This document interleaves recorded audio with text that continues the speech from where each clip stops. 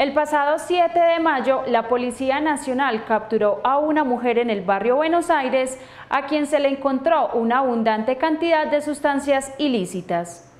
Una de las razones por las cuales la persona capturada generó mayor sospecha fue que estaba incumpliendo el toque de queda, el cual ese día regía desde las 8 de la noche. Quien portaba dentro de un bolso eh, una cantidad considerable de estupefacientes, hablando así de 190 dosis de marihuana aproximadamente, 188 dosis de clorhidrato de cocaína y eh, más o menos 160 dosis de lo que conocemos como bazuco.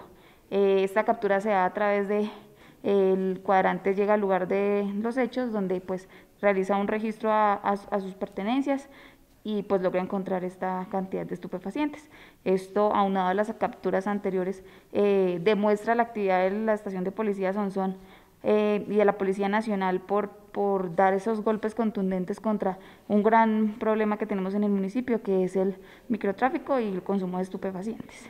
No, pues hasta el momento, digamos que todo está en materia de investigación, de pronto no se puede aseverar si pertenecía a algún tipo de grupo delincuencial o más bien era algo mm, particular, por decirlo así, eh, pues están haciendo las investigaciones pertinentes y esta persona fue dejada a disposición de la Fiscalía. Se pudo establecer por parte de las autoridades que la persona capturada es una mujer de 34 años de edad, oriunda de Barbosa, Antioquia. Por otra parte, y frente a los recientes hurtos, la Policía Nacional da las siguientes declaraciones. En, en la mayoría de los casos, según nuestro análisis, eh, se deriva de este mismo consumo de estupefacientes. Los consumidores al no tener el dinero para, para mm, comprar estos productos, lo que hacen es acudir a, a, los centros o lugares comerciales para conseguir dinero y poder abastecerse de, estas, de este recurso, por decirlo así, ¿cierto?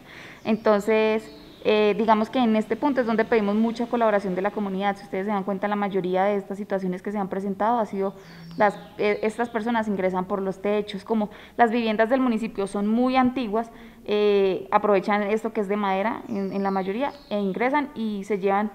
Hay casos en que se llevan una, una cerveza, en que se llevan dinero en efectivo el que hay en, en el negocio.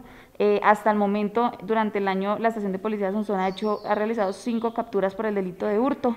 Eh, en este momento, de esas cinco, una, una persona ya fue condenada, está pagando, digamos que, eh, por haber cometido este delito y las otras, en algunas ocasiones, son dejadas en libertad mientras sigue el proceso de investigación.